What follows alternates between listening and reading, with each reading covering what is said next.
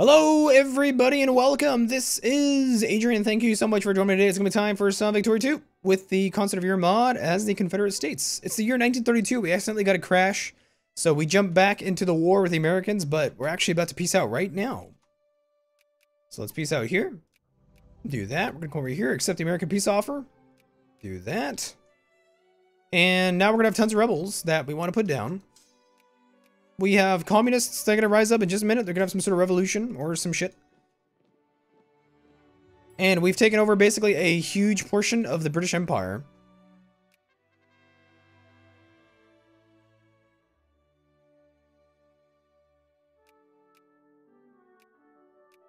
We're going to claim a couple of places around the world. And we're going to get like some Jacobins that are to rise up in a second. Probably.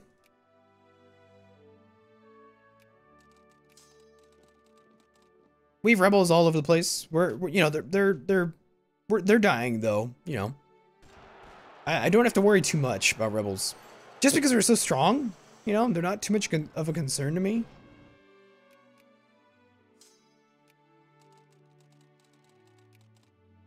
And uh, yeah, we're just gonna play out until 1936. Um, I think this this campaign is pretty much wrapped up though. We are the second greatest power in the world.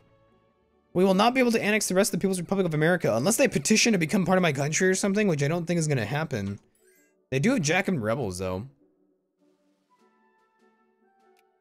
I think I gotta get some militancy down. We're gonna get Confederate communists that are gonna rise up.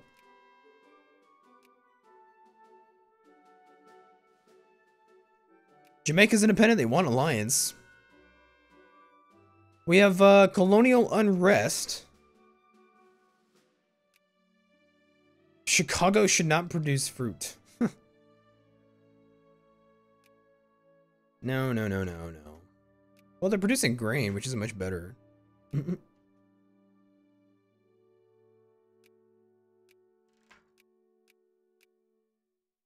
So yeah, basically our troops everywhere are going to just fight rebels, and that's it. Um, We can fortify some stuff, but there's really no need because we're not going to war anymore, I don't think. The game ends, I believe, 1st of January 1936. So, that'll be the end of it. That'll be the end of this campaign. We've got some Anglo-Canadian patriots rising up. These guys can be mad, but uh, we should be able to take care of them pretty easily. Because we are so strong. Let's take a look at our demographics. We have 31.41 million adult males. 52% of our labor force is farmers. 18% is laborers. Um, 12.4% is uh, craftsmen. We have 4.4% of artisans. We have 2% soldiers.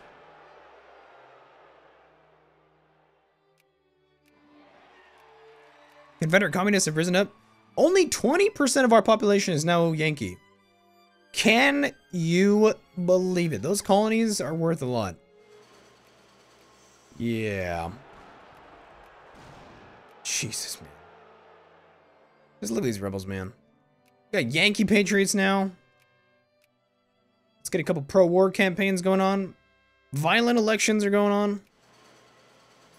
This is definitely the age of revolutions, I think. Jacobin's going to overthrow the uh, People's Republic of America. Let's take a quick look around the world. Spain is fascist. Germany, oh my balls. Germany's fascist. Austria's fascist. France is fascist. Turkey turned to fascism. Russia turned to fascism. Holy shit, that is just glorious. Glorious fascism! Uh, Canada is His Majesty's government. Communism is here. We are still democracy, believe it or not. We are a bastion of states' rights. Oh my god. These socialists are so good, man. They're so good. This is our sphere of influence. Anything that's gray. All of that. All of that. That's our sphere of influence.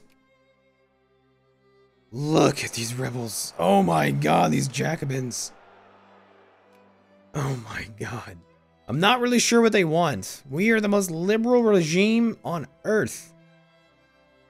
I really don't know what the Jacobins could demand. Then again, the Jacobins are radicals, man. I, I don't know. They don't necessarily need to demand anything, you know? The Jacobins are radicals, man. They come from uh, the French Revolution. Uh, prohibition sounds good.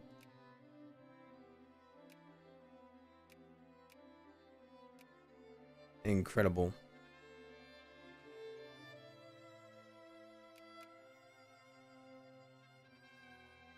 State capitalism, please.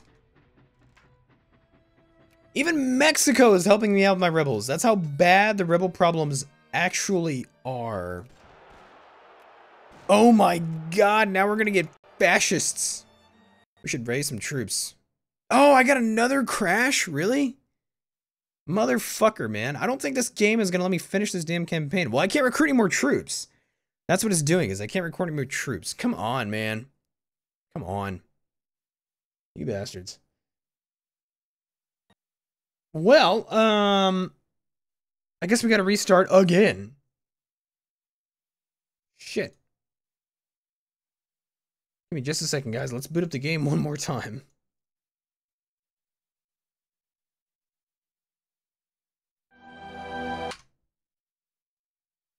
So I think we're not actually going to play till 1936. I do just want to take a look around the map, show you guys a few demographics and stuff, and then we'll just probably wrap it up right here. Um, I think the year's 1933 or something. I don't know. Damn it, the damn autosave is still in 1932. Jesus Christ, I can't even get through one fucking year. Ugh. Alright, let's give it just a second then. Let's let's finish up this guy, this war. Okay. Let's take a look at our demographics. Um, like I said, I already showed you guys labor, for, labor force. Yankees, 19.7%. Protestants, 38.8%. Conservatives, reactionaries, socialists. Wow, we have almost 20% reactionary. That's a lot. The electorate vote is mostly socialists, close behind the conservatives. Communists are 11%. It's kind of scary. Fascists are almost 10%. What's our largest demographic? In India, Marathi. 1 million. 1 million Marathi farmers. Holy shit. Um, we got through most of the technologies. Yeah, we did pretty good. Yeah. We could support up to 324 brigades. So that's like 1 point... It's like 1 point... No, it's like 1.75 million, I think. Yeah. Uh, 1,750,000 men. We can conscript 78 brigades, which is another... It's like 220... No, it's like 246,000, I think. 246,000 men or something like that. 250... So, we can support a, an army of, like, literally, you know, a couple million. It's 1932. Uh, France, Spain, Germany, Austria, Russia, Turkey, they're all fascist. Russia owns quite a bit of territory in India. He's number one great power. We are number two. Confederate States of America, Germany went fascist. NSDAP's in power. NSDP. Alright, whatever. Italy is a democracy, actually. Pretty interesting. The United Kingdom was dismembered. Scandinavia returned to a democracy. And uh, the Qing never reformed, neither did Japan. If they both reformed, this campaign would have been much different. Yeah. Korea is actually still not reformed either. Pretty weird. We actually own a limited territory here in uh, in China. Spanish Philippines. Yeah, Spain went phalangist, which is pretty interesting. Yeah. All right, guys, that's going to be it for this campaign. This has been uh, the Confederate States campaign in the Concert of Europe mod. We will be playing something else in, uh, in the next campaign, so I do hope you guys have had fun. This has been a great campaign. It's been very, very fun. Um, thank you so much for watching. As always, please make sure to like, subscribe, and comment. I'll see you guys in the next campaign. So thank you so much, and I'll see you soon. Thanks so much.